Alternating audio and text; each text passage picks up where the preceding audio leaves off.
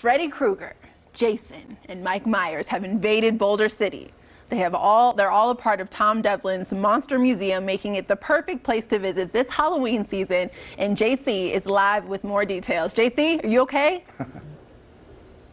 Are you okay? I'm, Rocky, my nerves are already, my hands are already shaking. My nerves are kicking in right here. I'm here with Tom Devlin. It's his Monster Museum. Tom, why open a Monster Museum? We're here to preserve the art and history of practical effects. When it comes to special makeup effects and practical creatures outside the digital world, we want to show the history. So we start with the silent films and work our way all the way up to modern day. Who is this guy we're looking at right here? Nosferatu, Graf Orlok himself, Maxwell Schreck, and uh, this is everything within the museum I've custom sculpted. It's all one-of-a-kind works of art. You won't find it anywhere else. Let's walk through because you have added so, I've been here two years ago, you added so much more, so much is new. Who is this guy we're looking at right That's here? Lon Chaney Sr. as the Phantom of the Opera, one of his most uh, classic known roles. He was the world's first makeup artist when it comes to American film. Okay. Also, Quasimodo from the... Uh, Quasimodo is right here. Okay, we like Quasimodo. Hunch- Hunchback Quasimodo's of Notre good. We go Yeah. walking through. You got a coffin here, some other stuff. Oh, that's something. This. Oh, it's alive. It's alive. so, in the months of October, some, some of our monsters do come to life. Yeah, like Uh, it's alive. Is it?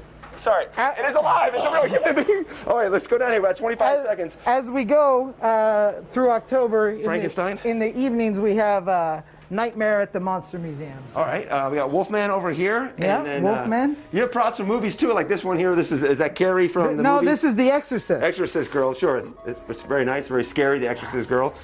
Oh, Uh, so, oh, and you actually have an Exorcist girl uh, crawling out from underneath the Exorcist girl as as well. All right, uh, we got ready, ready to wrap it up here, Tom. Hi, nice to meet you down there.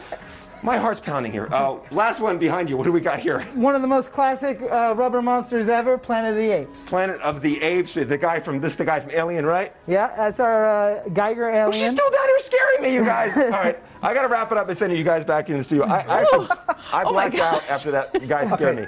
We're at four coming up in the four Yeah, o'clock no. hour. We'll send it back to you guys in the. I'm impressed, JC. I would have, I studio. wouldn't have made it. I wouldn't have made it when I saw her pop out, out of the bed. That one would have freaked me out. All right, JC.